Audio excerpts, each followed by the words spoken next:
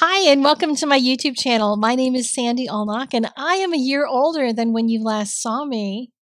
Yes, I just had a birthday. Thank you all for the birthday wishes. I really appreciate it a lot. It was a good one. Spent sketching and hanging out with the dogs. That's pretty much what every day looks like around here. But today I am going to share a sketch with you and some tips on doing some urban sketching because as the weather is getting nicer in a lot of places, you might be considering going out and drawing. And I've got a couple things to share with you today. So let's get started.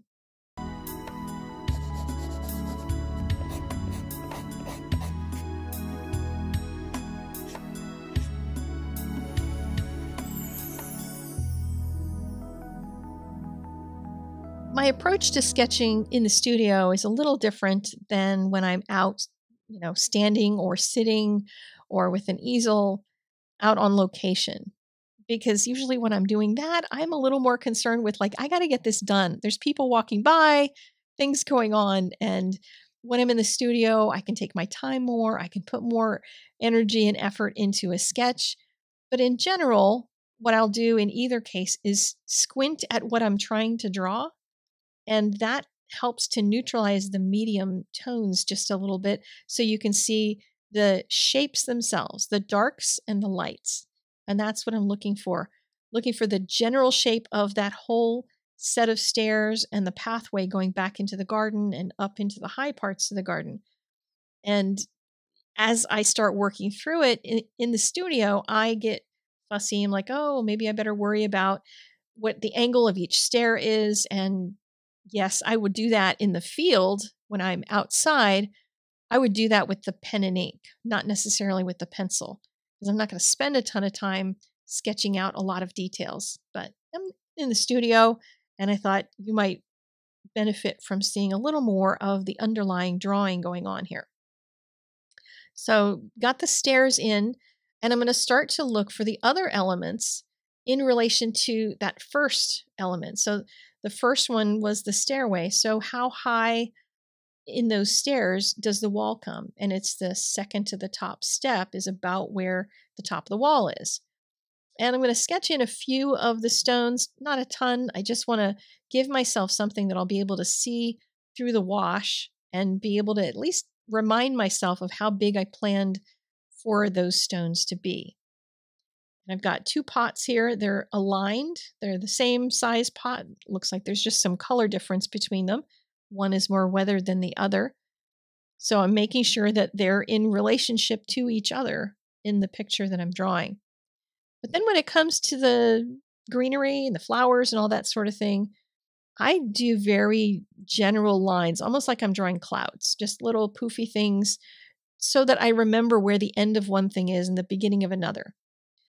I find if I spend too much time on the pencil sketch and I put in too many details, then I will often end up in big trouble when it comes to the finished piece because then I get wedded to all that little stuff that I spent all that time drawing, and I find it difficult to edit out any excess details that are not important for the drawing. So for the underpainting, I'm going to be using leftover gouache today. You could do the same thing with watercolor. If you're one of those folks that leaves your excess paint in your mixing wells, whatever kind of palette you use, then use that for an underpainting like this. And I'm just going to use like a mess of gouache. I have a couple of these tiles. They're just tiles from the hardware store that I mix my color on, and you can re-wet gouache. And I thought, well, why don't I just keep these? I've had like five or six of them sitting in the studio, and I've just filled them up on occasion. And then when I start a fresh painting and I want bright color, I just wash one of them off and start with that. But this helps me to create some gray colors, grayish kind of neutral colors. So it's great for doing trees and rocks and that sort of thing because those don't tend to be really screamy bright colors. But it's also a great time to practice mixing colors on things that you might not on a real painting use color X and color Y together. But here you can take some green that's next to a red and see what happens if you mix the two of them and throw it on the paper. It doesn't really matter what colors you're putting underneath of all the pen and ink work that you're going to do. And this is a great way to use up the excess paint as well as just getting some basic color mixing practice. You're going to find which colors you like together that you'll be able to use later. You can deliberately choose to use a red and a green together if you want to get a particular kind of green.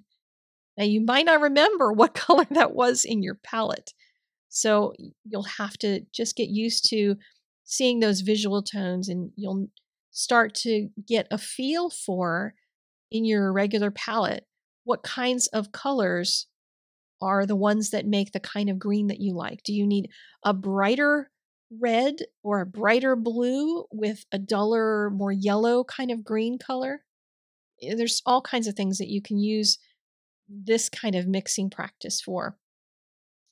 And you see I had uh, one palette that had some reddish color that I could use for those pots. But then I went to this one that has just a mess, a cacophony of really hideous color on it. But it works really well for things like stonework because I've just got a whole smattering of colors in here that look like baby poo in some places. But I'm going to get to use all this paint when I make my practice sketches and get some use out of it rather than breaking into new paint from the palette. Leave all that clean and then just use this. And I wouldn't take these tiles necessarily out to the street if I were out doing some painting necessarily, because that's a lot of stuff to carry around. But it's going to work great in the studio and, you know, make the best of excess pigment sitting around here. The brushes that I'm using are gouache brushes, or at least I call them gouache brushes. They're a Jack Richeson set, and they simply don't hold a lot of water. And for gouache, I don't want them to hold a lot of water, but I'm using my gouache as watercolor here.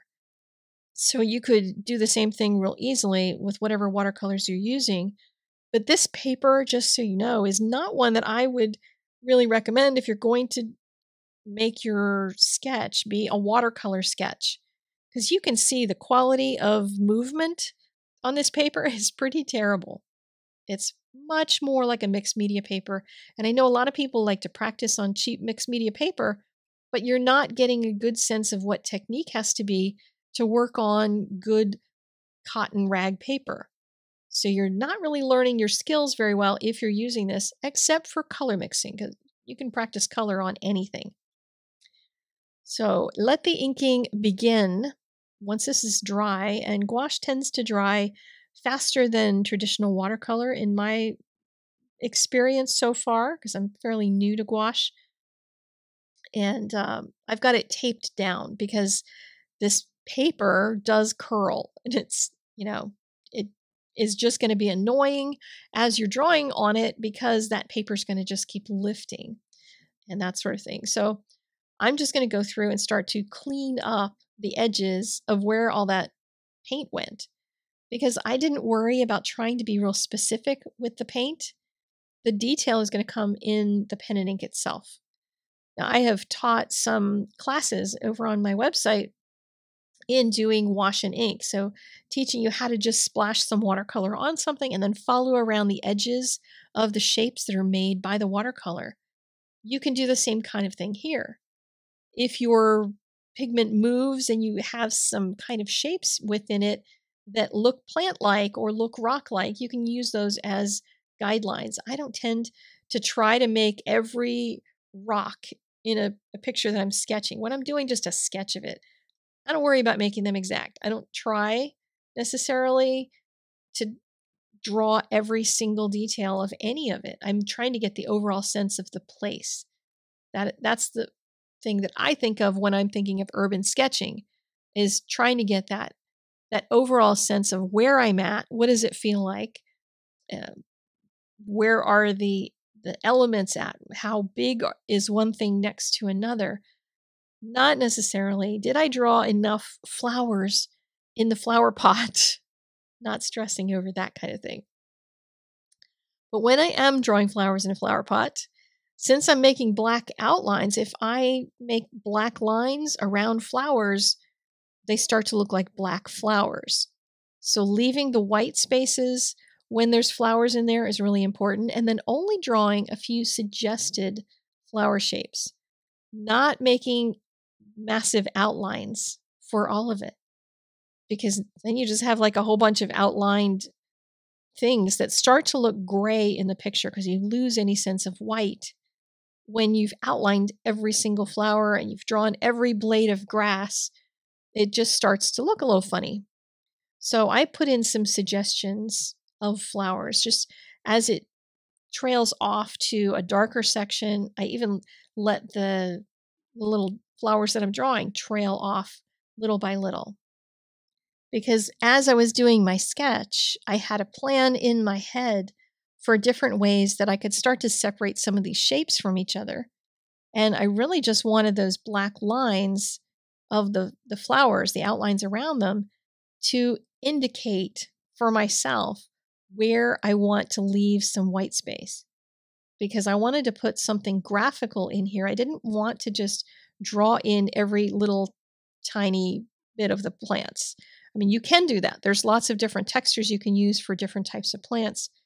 But I had so many details in a lot of other areas that I wanted to simplify that section on the left. And I did that with lines, just doing parallel lines instead of trying to draw in too much fussiness. I wanted to have some place for the eye to rest and not have everything be so packed with detail that it was just a cacophony of crazy. But as I'm looking at this now, I'm, I'm seeing how much I was leaned over to the side when I was doing my drawing. One of the things I love to do when I'm out sketching is to have an easel and have my sketchbook up on something so that I can see it in parallel to the thing that I'm sketching. Because otherwise, when I'm working on a flat desk, I'm not getting a bird's eye view of my sketchbook. I'm getting an angled view and fortunately, this is just a sketch and I didn't have to stress out about it. I didn't, you know, double check a lot of things because it kind of started leaning to the right just a bit. And uh, that it started because I had noticed the bottom stair on the stairway kind of had a little jog, a little lean down to the right, as if there's something sagging there. I'm not sure if that's a little hill or something, but the whole thing took on that characteristic. So there you go. Sketches don't have to be perfect. So I went back to my crazy palettes and put some brown into a few of those rocks to darken them. And then went in with my pen to add some texture into the rocks themselves. And then decided to jump over to the other side and do the next pot. And, you know, creating it in the same way. There's less color on it. I left more light color at the bottom since it's more of a distressed type of look that that pot has. And using the same cross hatching to create those big shapes, not trying to draw every single one of those diamonds on there, just letting those lines trail off because the person looking at the sketch is their eye is going to fill that in automatically. That's just how our brains work as humans. We see something missing, our brain fills it in, which is one of the reasons why when we're sketching something and we think, oh, I know what this thing looks like. I know what a pot looks like. I know what a plant looks like. That we as artists also try to fill it in from what we think something looks like. That's just part of how our brains are wired. And that's why it's important to look at your reference regularly and look at your, your scene in front of you if you're out outdoors doing sketching because you need to actually see what's really there, not what you think is there. Because there's a lot of times that things don't quite sit in our memories the way they actually are in reality. These stairs are a good place to talk about value. Value is the relative light versus dark in your reference as well as in your drawing. And you want to look for where are the places that are pure white, what's really, really, really white. Like in this one, just the sky in the background. That's the only thing that's white, white. And where is the dark, dark, the, the very darkest of the darks? And then start to figure out where everything else is in between. Where is the 80% dark? Where is the 70% or the 60%? And it doesn't have to do with whether it's a black or white item, it has to do with is it a dark version of that color? You can have darks in the greens that will be the same amount of dark as a dark in a gray or in a in one of these stairs. And you want to give them that same value in your drawing that you see in reality. And the stairs needed to be really dark on those edges so that they start to match with the very darkest that I have elsewhere in the sketch. You can achieve those differences or similarities in value either with a wash of color or you can do it with a little bit of pen and ink work, depending on what's appropriate for that particular thing. I went in with just a little bit more gouache to add some shadows and some roughness into those stairs. And since I'm using waterproof ink in my pen, I can easily go over this. It's going to be a little more difficult to go over a lot of detailed pen and ink work with gouache because gouache is an opaque watercolor. But when you're using stuff that's on a, a palette, then water has been added to it before, and then you're also adding more water and using it very thinly. So you can generally go over pen work with gouache. It's just a little more difficult when you start talking about thicker pigment because that will actually cover up some of the black pen lines. So doing the pen work later is a better option than doing it earlier so that you can at least get really nice crisp black lines. But in a few places, I go back in with the gouache to add in a few little bits of color. So for the background, I wanted some of those tree branches to show through, some of the places where a friend of mine says that the birds fly through. So I've drawn in some of those branches. And then the rest of it, though, I wanted to also bring in some of those graphical elements from what I had done in the plants earlier, just putting vertical lines in there. That's going to help to bring some unity to the whole sketch because I'm using one of the same techniques in a bunch of different ways sometimes for the trees in the back, sometimes for the stairs, sometimes for the plant work. And this can be a, a way to start simplifying the whole thing. This is keeping me from getting lost in every one of those little bits of the trees. Because I am one who will draw all the little branches and all the little clusters and get crazy with it. Those trees in the distance are not the important part of this picture. And whatever the piece is that I'm creating, whether it's just a sketch or a you know finished painting, finished drawing, whatever that is, I try to think about what it is that attracted me to wanting to paint that subject. What made me sit down in front of this stairway and decide to draw it? What is it that made me choose this photograph of this stairway? What do I love about it? And, you know, there are certain areas of anything that start to attract my eye more than others. And you know that that whole stairway, the the way that it draws you into that garden, it makes you want to walk up those stairs and go see what's behind there. And all of the beautiful welcoming plants on either side. Just lots of things made me very happy. But all those trees in the distance just made me scared. They just intimidated me because I knew I could easily get lost in that. I wanted them to look like there was a, a beautiful garden back there, but I didn't really want to delineate every single tree.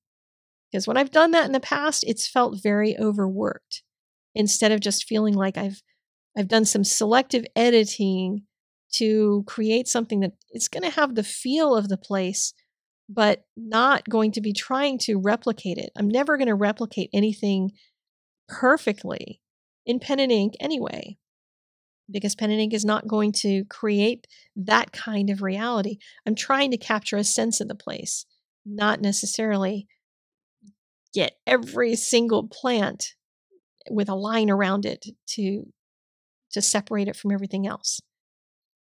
So I'm trying to use different lines on the grasses because I really liked those. They're one of the elements that I really liked was the flounciness of them, the way that they spill over. So I'm you know, kind of making them come in from these rocks that were in front of that that didn't make it into my original sketch. I didn't even notice them until I got to drawing that section. And then I realized those grasses are coming out from behind some rocks that are a different color than the wall. these are the kinds of elements that you can discover if you do a pre sketch before you do a finished painting.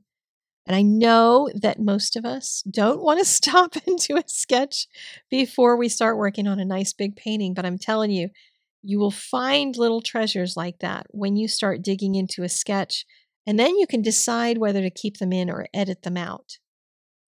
Now I'm using some thin gouache again to add some more value as well as do a little more defining of some of the areas in my sketch and also adding some browns into the rocks because as I was working, I was realizing I wanted more warmth in those rocks. I didn't want them to just be those grays that I'd put in, in the first place.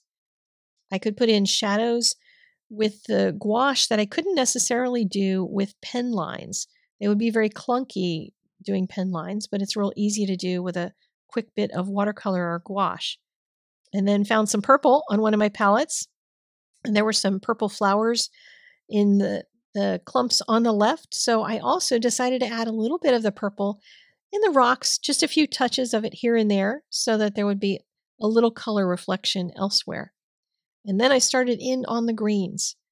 When you're working with pen and ink, and trying to make lines do what you want, there's oftentimes it's really difficult to make them function to create the kinds of lines you're looking for. I wanted those vertical lines, something very graphical in the background, but merging them with the negative drawing around those grasses was next to impossible. But with a brush and a little bit of paint, I could do that. I'm using the gouache very thin. If you start using gouache after you have all those black lines on here and you use it thick and you've got, you know, nice opaque color, you're going to cro- cross over all of those black lines and they're going to become more muted. So if you want those lines to be crisp, you want them to be on top or use something very transparent on the top. But I realized I could create some of that differentiation in the trees that I so love to do in a lot of my work but I didn't have to do it with the pen and ink. I could do a bit of it with the gouache. I could even add some really soft edges for the trees so that they would look more like trees rather than blobs.